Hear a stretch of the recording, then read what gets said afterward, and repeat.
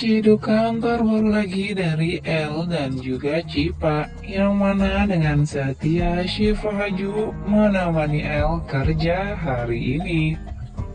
Terjeduk L dan juga Syifa sedang jalan berdua Awalnya tangan L dengan mesra memeluk Cipa Tapi saat tahu ada kamera langsung buru-buru melepas pelukannya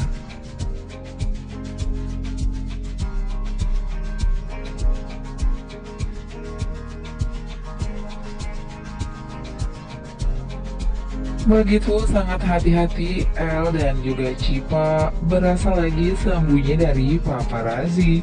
Tapi melihat tingkah sweet mereka bikin para fans baper berjamaah.